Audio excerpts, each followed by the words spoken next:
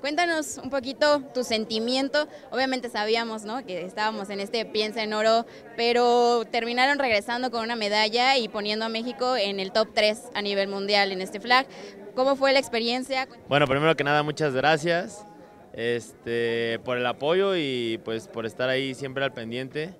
Y pues realmente mi experiencia es súper, súper gratificante porque, como bien lo dijo Said hace ratito en la, en la conferencia de prensa, el que tú llegues a un evento donde entres a un comedor y haya atletas olímpicos, este, paralímpicos, eh, que te encuentres con la mejor calidad de atletas que te puedes imaginar, desde ese momento ya estás viviendo una experiencia inolvidable.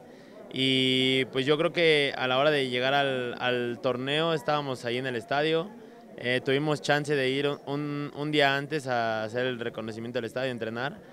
Y pues yo lo que les comentaba a mis compañeros era que vieran el escenario y que disfrutaran realmente como el escenario, porque no sabíamos si se iba a repetir o no. Entonces, pues creo que fue una experiencia bastante grata para nosotros. Como bien dices, nosotros íbamos con la mentalidad de piensa en oro. Realmente el hecho de cambiar el chip a, tomar el bronce fue pues hasta el momento de la semifinal.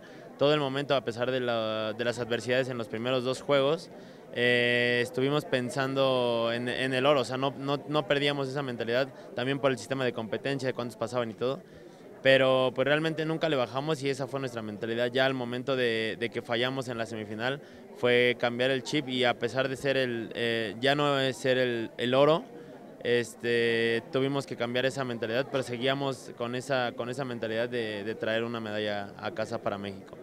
Definitivamente, ¿no? Había algunos cambios ahí en el, en el equipo, a comparación del que fue Israel. Eh, tú te mantuviste, tú has estado en el FLAG casi toda tu vida eh, y bueno, has tenido la oportunidad de traerte la plata, traerte el bronce y obviamente nos llenaste de mucho orgullo con varias jugadas. ¿Qué representa para ti en específico esta medalla? Ok, pues para mí representa mucho sacrificio. Eh, eh, mucho apoyo de mi familia, de mi novia, de, de todas las personas que, que, han estado ahí para mí. Y pues sí, bastante sacrificio. Yo creo que es el esfuerzo de, de, de, todo el trabajo que venimos haciendo. Y como bien dices, a lo mejor ahorita no de solo seis meses, sino de, de tres meses, sino desde antes de la pandemia que yo empecé el proceso para el Mundial, que me tocó desde el 2018 pues realmente fue un, un, proceso larguísimo donde tuvimos que dejar muchas cosas de lado, este, familia, amigos, reuniones, todo, todo ese tipo de cuestiones para poder enfocarnos y traer esas dos medallas. Y realmente para mí es un logro bastante, bastante grato y representa todo eso, todo el sacrificio y todo lo que, lo que llevo en mi trayectoria de flag y de fútbol americano que jugué de, de pequeño pero pues eh, principalmente lo de flag, que ya llevo un ratito en, en, en, esto. En tu experiencia, en tu conocimiento, ¿cuáles son los puntos que tú crees que deberían priorizar para pues, los siguientes eventos y seguir poniendo a México en lo más alto? Pues eh, yo creo que el tema de, los entrenamientos y, demás eh, a veces nos limita un poquito el hecho de tener pues una selección como tal porque tenemos gente de fuera. Eh, no podemos estar entrenando cada fin de semana porque obviamente es complicado para, para, la gente de fuera. Pero yo creo que lo único que hay que trabajar es este, más un poquito la mente, el, en el sentido de físicamente y de la manera de jugar yo creo que íbamos completamente preparados, te digo, ahí hubo errores de, no sé, drops, este, a lo mejor malas llamadas, este, se nos fueron cintas, todo, todo, eso que se, a final de cuentas se va haciendo una bolita y, y, y, por eso pasan los malos resultados. Pero yo creo que este, trabajar aún más fuerte en cuanto al tema de disciplina, dedicación, todo ese tipo de detallitos que a final de cuentas hacen una gran diferencia, yo creo que es súper importante y decirle a las futuras generaciones que que realmente es importante tener ese tipo de preparación y ver este deporte ya no como un deporte nada más dominguero, sino eh, realmente un deporte que es ya ahorita prácticamente semiolímpico, por así decirlo.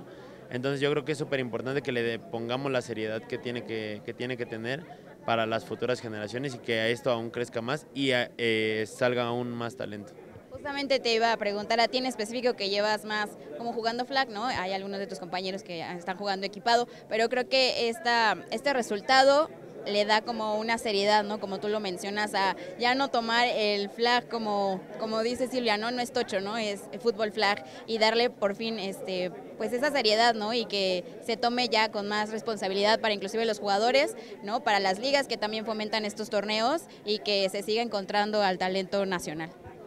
Sí, pues yo creo que, como bien lo decía hace un ratito, ¿no? Este, es importante que se le dé la seriedad que, que tiene que ser porque no es ya un deporte dominguero, sí va, va, a seguir existiendo y vas a poder ir, a lo mejor hasta con tu familia, hacer un equipo para, para poder ir este, a jugar los domingos una cascarita y todo, pero si realmente quieres eh, que o queremos que esto siga creciendo, tenemos que ponerle aún más seriedad a todos, a las ligas, a los juegos, a todo ese tipo de cuestiones.